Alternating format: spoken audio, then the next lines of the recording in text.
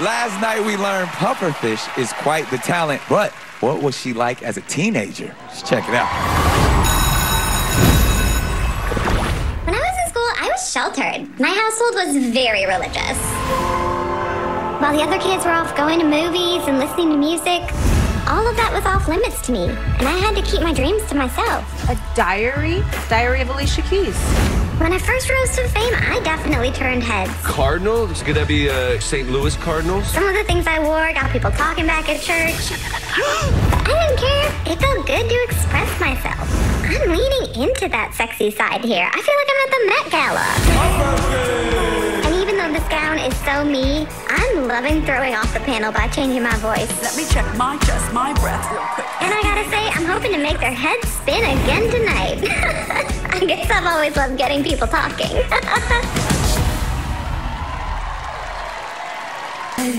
Wow! Is it a rapper? I have no idea. Wow! Pufferfish! Yes! Keep it going. Who is that? I can't believe y'all don't know who this is, but whatever.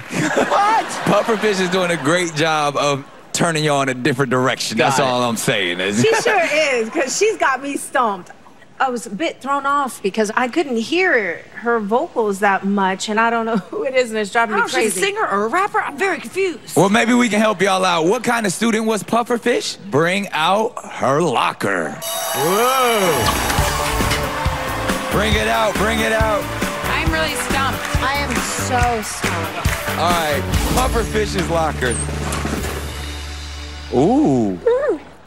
Spelling bee champion? yeah. Smarty pants. Yeah. Well, there is a clue. I mean, I have bars. Ah, I got moves, okay. but also have letters. Is this just like like MIA? Are these like letters that are spelled out as Ooh. letters? Oh, yeah, letters that's and just cool. kind of like So you're guessing already, Ken. This is these are I'm your- always guessing.